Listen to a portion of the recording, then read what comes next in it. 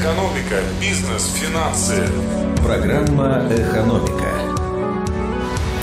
У микрофона Ольга Болезина. Здравствуйте. Более двух тысяч кировских предпринимателей подали заявки на зарплатные субсидии. Об этом рассказали представителю ФНС. По одному МРОД на работника выплатят субъектам малого и среднего бизнеса за апрель и май. На финансовую помощь могут претендовать субъекты МСП из наиболее пострадавших отраслей, если они сохранили 90% штата. Среди более двух тысяч заявлений в Кировской области 90% от ИП, 10% от организаций рассматривают их по три дня. Уведомление о перечислении субсидий будет направлено заявителю тем же способом, каким было направлено само заявление. Перечисление денежных средств начнется с 18 мая. Программа «Экономика». У малого бизнеса станет больше шансов получить господдержку. В Госдуму внесен законопроект, который позволяет малому бизнесу, не попавшему в реестр МСП, быть включенным в него и получить возможность претендовать на господдержку. В реестр включат тех, кто соответствует всем требованиям, но не успел в прошлом году вовремя сдать отчетность.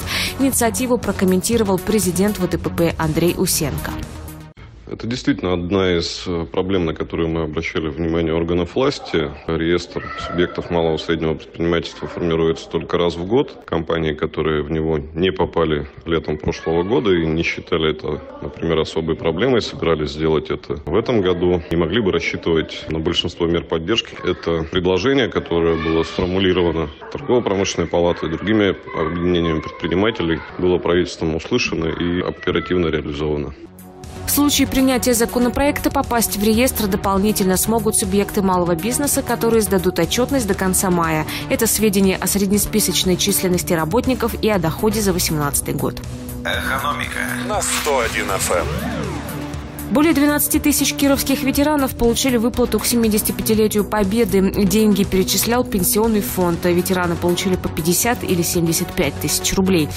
В числе получателей 62 инвалида войны, 300 участников войны, 56 человек, награжденных знаком жителю блокадного Ленинграда, более 9 тысяч тружеников тыла, 71 бывший несовершеннолетний узник концлагерей и почти 2,5 тысячи вдов участников Великой Отечественной Большинство деньги получило еще к 10 апреля.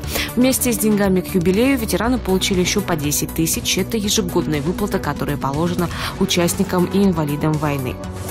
«Экономика».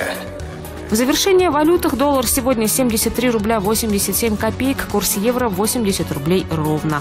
Ольга Болезина, новости экономики в Кирове. Программа «Экономика». На 101 FM.